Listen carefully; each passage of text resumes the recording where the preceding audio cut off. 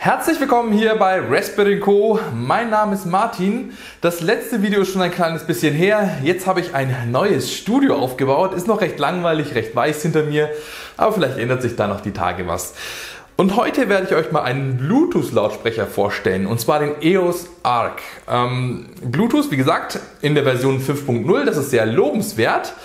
Und ähm, eins vorweg, ich habe schon ein paar Vergleichsvideos angeschaut, also Reviews, und äh, da sind die Meinungen sehr, sehr unterschiedlich. Der eine lobt diesen, äh, diesen Kopfhörer in den Himmel, der andere findet es totalen Mist. So, äh, ist schon ein bisschen her. Ich meine, äh, der EOS Arc, der ist schon etwas länger auf dem Markt, schon seit, ein, ich weiß nicht, dreiviertel Jahr, ein Jahr. Damals hat er auch ein bisschen mehr gekostet, über 120 Euro, bin ich der Meinung. Heute kostet er 91 Euro und auf diese 91 Euro beruhige ich mich dann auch. Auf die werde ich dann auch mein Fazit bilden.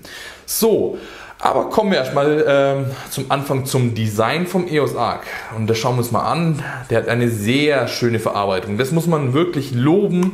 Schönes Metall, Aluminium, ähm, Leder, Schaumstoff äh, mit Memory-Funktion hier in der Ohrmuschel. Hier oben ist auch schön gepolstert.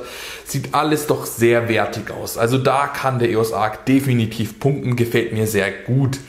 Ähm, die Ohrmuschel ist vielleicht ein Ticken zu eng hier an der Stelle innen. Wenn ich es aufsetze, ist es erstmal super bequem, total schön zu tragen. Nach einer Zeit, ungefähr nach einer Dreiviertelstunde oder nach einer Stunde, wird es aber dann doch langsam ein bisschen unangenehm und drückt ein bisschen. Aber es ist noch nicht schlimm, ich finde es noch völlig okay. Ist noch im Rahmen. Könnte aber ein bisschen breiter sein, meiner Meinung nach. Und gut, für kleinere Ohren wird es wahrscheinlich weniger das Problem sein. Äh, den gibt es auch in Farbe braun, also die, äh, äh, der Stoff, wo eben Le das Leder ist, das gibt es dann auch in der Farbe braun. Und dann gibt es noch so eine Limited Edition, aber die ist meistens ausverkauft. Könnt ihr alles natürlich mal nachschauen auf der Seite von EOS. Unten in der Videobeschreibung packe ich auch mal einen Link, dann findet ihr auch die Seite von EOS und da könnt ihr auch diesen Bluetooth-Kopfhörer kaufen. So, äh, was wir auch gleich am Anfang sehen können, ist, dass er eben nicht zusammenklappbar ist. Ähm, also kann man ihn nicht schön ordentlich leicht verpacken in einen Rucksack oder sonst wo, aber man bekommt zumindest so ein kleines Täschchen hier mitgeliefert, da kann man ihn reintun. Oder man kauft sich auch bei EOS auf der Internetseite ähm, so ein Hardcase, kann man auch machen. Gut, aber so riesig ist es jetzt auch wieder nicht, dass man es nirgendwo verstecken könnte. Ich persönlich mag das auch äh, nicht so, wenn äh, Kopfhörer rumklappen, rumklappern, weil sie eben zusammenklappbar sind. Äh, Geschmackssache. Gut, genauso wie Design, Geschmackssache, aber ich finde, da gibt es nicht viel zu meckern. Sieht sehr schön aus und ist echt perfekt verarbeitet, meiner Meinung nach. Das Einzige, wo ich mir ein bisschen so Gedanken mache, ist hier an der Stelle. Übrigens, stufenlos kann man ihn größer und kleiner stellen für den jeweiligen Kopf. Kann man auch am besten, wenn er schon auf dem Kopf sitzt, schön stufenlos verändern. Wenn man es eingestellt hat, dann sitzt er auch ganz fest. Finde ich, ist ganz gut. Was, wo ich mir Gedanken mache, ist dieses Kabel. Ich bin mir nicht so sicher, ob das ähm, ewig aushält, dieses Hoch- und Runterfahren. Weil man sieht, an der Stelle wird das Kabel dann hoch und runter geschoben. Ich hoffe, das wird nicht der Knackpunkt sein, wo das Headset oder der Kopfhörer irgendwann kaputt geht.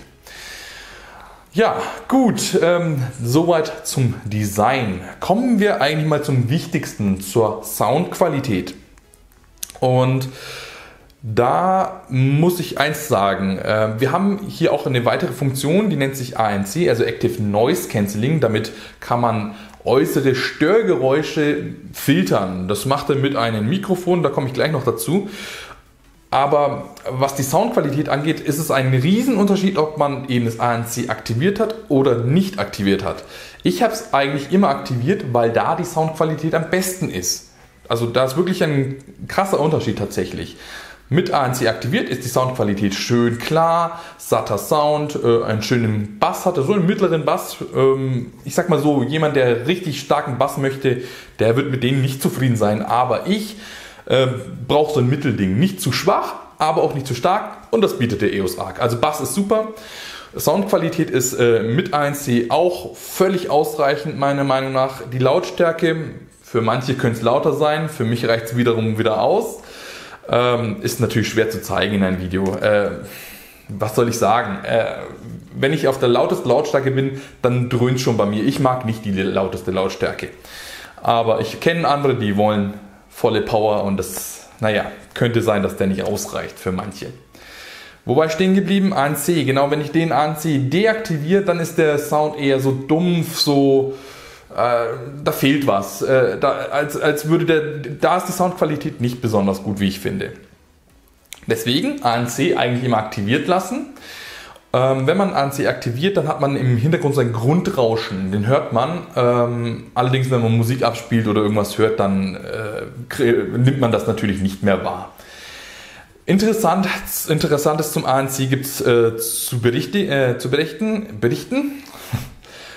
mein Dreher im Mund gehabt. So, zu berichten gibt es zum ANC einiges. Und zwar, äh, anfangs war ich total enttäuscht von den ANC. Ich dachte, der ist sinnlos, außer dass sich die Soundqualität ändert, ist er total sinnlos. Also die eigentlich, eigentliche Funktion ist, dass er eben ähm, Außenstörgeräusche, ein Rauschen eben filtern kann, so dass man diese nicht mehr hört. Und das macht er eben mit so einem Mikrofon. Der hat übrigens zwei Mikrofone. Ich schätze mal einer eben für das ANC und eins, um eben telefonieren zu können. Ähm, ja, anfangs habe ich davon überhaupt nichts von diesem Noise Cancelling mitbekommen.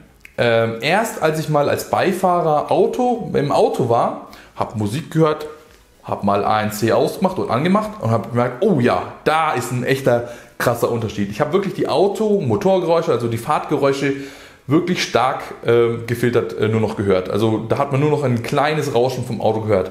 Das war super, das hat mir wirklich gefallen und dann war ich plötzlich doch wieder ein bisschen mehr begeistert von ANC. Aber das ist, das ist interessant bei diesen Kopfhörern. Manche Störgeräusche werden nicht gefiltert, andere wiederum schon. Äh, Beispiel, ich bin auch mal, als meine Frau sich äh, die Haare geföhnt hat, bin ich hoch und habe auch da mal getestet. ANC an, ANC aus, kein Unterschied. Den Föhn hast du genau gleich gehört. Das, das verstehe ich nicht so ganz, äh, wo der Unterschied ist zwischen Autofahrtgeräusche und einem Föhn. Also ich meine, das, das sind beides einfach irgendwelche Noises. Ne? Also keine Ahnung. Äh, Computergeräusche zum Beispiel von meinem Lüfter, ja, da merkt man einen kleinen Unterschied, aber der filtert nur ein kleines bisschen was raus. Aber immerhin ein kleines bisschen. So, ich denke, jetzt habe ich genug von den ANC erzählt. Ähm, ach, vielleicht noch eine Sache. Ähm, Stimmen äh, filtert er überhaupt nicht raus. Da gibt es andere Kopfhörer mit ANC, die filtern sogar richtig gut Stimmen raus. Das kann ein Vor- oder Nachteil sein. Das muss jeder für sich selber wissen, ob man, wenn man eben die Kopfhörer auf hat und Musik hört, ähm, ob man noch andere Leute hören möchte kann ja durchaus wichtig sein. Vielleicht möchte man das aber eben auch nicht. Also bei denen ist es nicht der Fall. Also Stimmen werden überhaupt nicht rausgefiltert, definitiv nicht. Ist eher was zum Musik hören, vielleicht im Auto oder bei der Zugfahrt. Wobei Zugfahrt habe ich nicht getestet, aber da sind auch die Störgeräusche recht ähnlich. Aber wie gesagt, Beispiel Föhn, Computer, Lüfter. Ihr merkt, das ist sehr individuell, was er da rausfiltert. Okay, äh, wie gesagt, zweites Mikrofon gibt es auch, äh, womit man dann einfach telefonieren kann. Videochat funktioniert wunderbar, die Qualität ist okay. Aber nur okay, für mehr reicht es nicht. Zum Telefonieren, Videochat mit Freunden, absolut okay, für den Rest nicht. Gut, ähm, den Packungsinhalt habe ich ja fast noch gar nicht gezeigt, außer das Täschchen. Wir bekommen einmal ein USB-C-Kabel zu USB ähm, zum Laden das ist schön, dass man ein USB-C-Kabel äh, hat. Dann muss man nicht wissen, in welche Richtung man es einsteckt. Das ist ganz gut. Fehlt natürlich ein USB-Netzteil. Werden die meisten sicherlich zu Hause haben eins, um das zu nutzen. Oder am Computer kann man den auch eben anstecken und dann laden.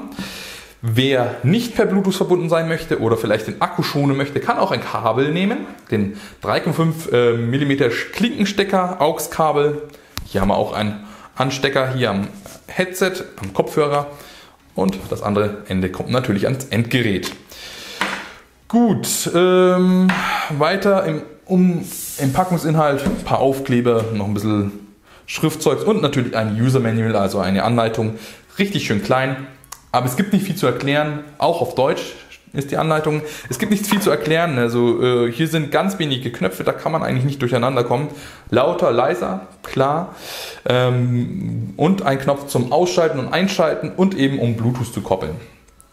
Ähm, drückt man also, also äh, den Bluetooth-Knopf, um eben den Kopplungsmodus einzuschalten, wenn natürlich das wenn der Kopfhörer natürlich schon vorher eingeschaltet wurde. Beim Ausschalten übrigens, das ist eine kleine Info, da muss man den Knopf wirklich sehr lange drücken. Also nicht nur drei Sekunden, sondern länger als drei Sekunden, dann geht er erst aus. Wie gesagt, den ANC-Schalter habe ich ja schon erklärt. Ansonsten gibt es nicht viel mehr eben zu diesem Kopfhörer zu erklären. Gut, jetzt schaue ich mal kurz auf meinen Spicker, ob ich alles erwähnt habe. Ich denke ja und das war es im Prinzip auch schon von diesem Kopfhörer. Kommen wir also jetzt mal zum Fazit. Würde ich das Teil kaufen, wieder kaufen? Ähm, ja, definitiv. 91 Euro ist das ein super Kopfhörer. EOS Arc passt. Design super, Soundqualität passt. Beste passen. ANC so lala. Für, wie gesagt, ich will es nicht tausendmal wiederholen, aber zum Autofahren oder Zugfahrten Spitze, Zugfahrten äh, nicht getestet. Aber ich gehe mal davon aus. Gut, äh, und das für 91 Euro ist wirklich gut. Der Akku hält übrigens ordentlich lang. Also ich habe den mehrere Wochen, nicht täglich genutzt, aber mehrere Wochen wirklich immer wieder probiert und getestet und ich habe ihn nie geladen. Ich habe ihn einmal geladen, seitdem ich ihn getestet habe. Ähm, ich kann es leider nur nicht genau sagen, äh, steht aber irgendwo in den Unterlagen. Ansonsten unten in der Videobeschreibung auf meiner Seite werde ich es auf jeden Fall mal kurz äh, festhalten, wie groß der Akku ist und wie lange er ungefähr hält. Aber das ist wirklich sehr ausreichend, wie ich finde, vom Gefühl her. Gut, das war's von diesem Review. Vielen Dank, dass du eingeschaltet hast. Also wie man sieht, ähm, es ist nicht totaler Mist, aber auch nicht äh, super, super, super toll. Aber für 91 Euro ist er sein Geld definitiv wert. Muss ich auf jeden Fall sagen. So, danke fürs Zusehen und bis zum nächsten Mal hier bei Raspberry Co. und tschüss!